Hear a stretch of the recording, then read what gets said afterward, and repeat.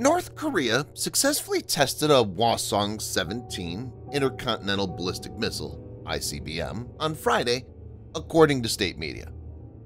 Leader Kim Jong-un oversaw the ICBM launch conducted by the Korean People's Army Strategic Force, the Rodong Sinmun reported Saturday, marking his first public appearance in more than a month.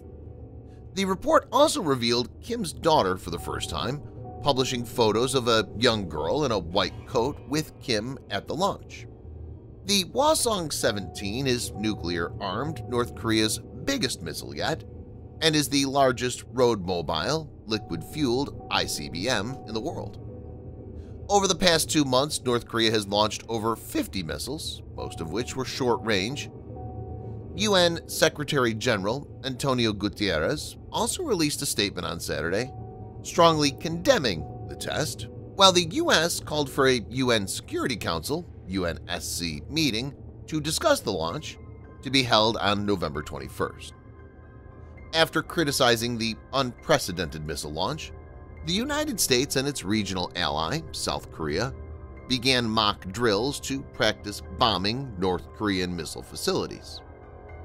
In this video, Defense Updates analyzes why North Korea's monster Hwasong-17 missile is a genuine threat. Let's get started. This video is sponsored by War Thunder. If you are, like us, fascinated by military vehicles and technology, I recommend you give War Thunder a try. It's a military vehicle combat game which you can download and play for free on PC, PlayStation 4, and Xbox One with cross-platform support. It has a huge variety of more than 1,200 playable aircraft, tanks, helicopters, and ships from the 1930s to the 1990s, which you can take to battle on land, in the air, and at sea on more than 80 theaters of war. War Thunder's been kind enough to offer all Defense Updates viewers a special bonus, which will grant you a free premium tank, aircraft, or ship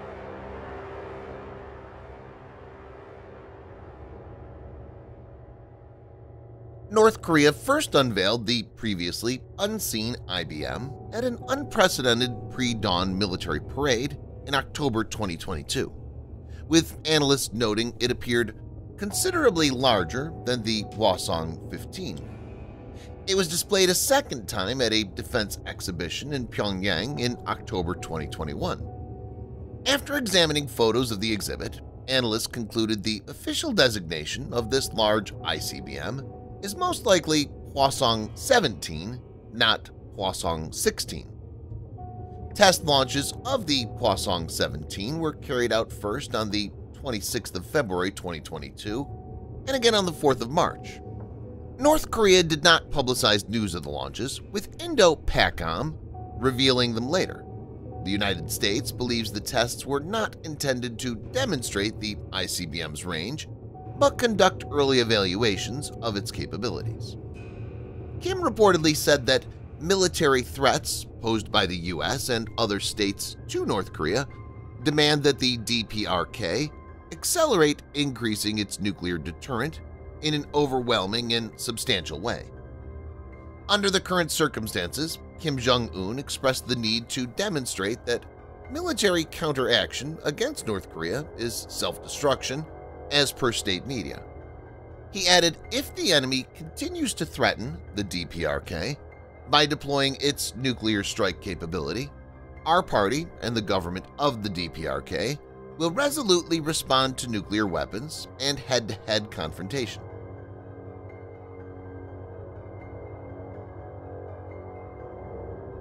Hwasong 17 is judged from images to be 26 meters long with a diameter of 2.7 meters, and its total mass when fully fueled is likely to be more than 80,000 kilograms or about 175,000 pounds. Unlike North Korea's earlier ICBMs, the Hwasong-17 is launched directly from a transporter erector and launcher TEL vehicle with 11 axles, photos by state media showed. The missile launched on Friday flew nearly 1,000 kilometers 621 miles for about 69 minutes and reached a maximum altitude of 6,041 kilometers, state news agency KCNA reported on Saturday. A lofted trajectory has been used for this testing. It's evident that the missile has more capable rocket motors and more energetic liquid propellants than the country's previous missiles. Like all missiles, the warhead has an impact on the range of the missile. The heavier the payload, the lesser will be the range.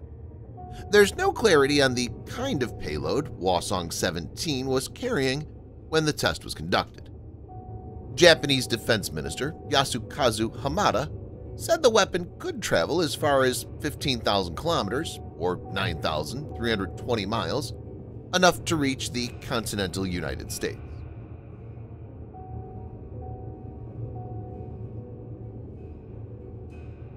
North Korea had said in its previous missile tests that some of these were simulations of nuclear attacks on South Korean and American targets.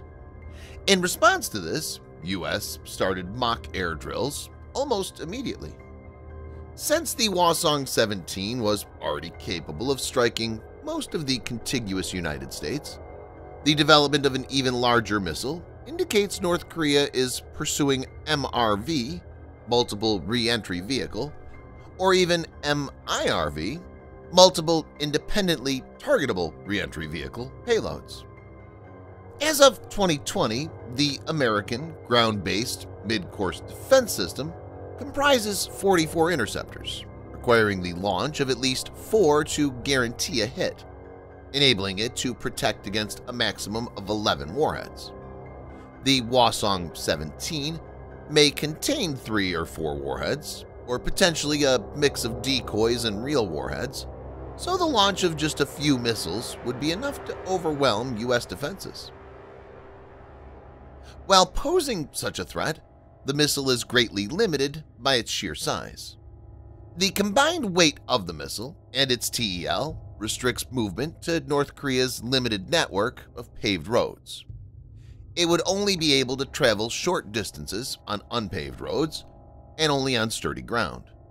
Unlike smaller liquid-fueled ballistic missiles, it's unlikely that it can be fueled at a secure location and then driven to and erected at a pre-surveyed site to cut down on launch preparation time, as vibrations during movement of such large missile could risk causing damage and leaking volatile fuel.